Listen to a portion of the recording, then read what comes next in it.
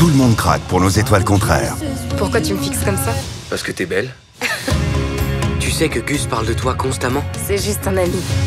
Je suis une grenade et je vais tout détruire sur mon passage. Ce serait un privilège d'avoir le cœur brisé par toi. Cet été, préparez-vous à tomber amoureux. Nos étoiles contraires, le 20 août au cinéma.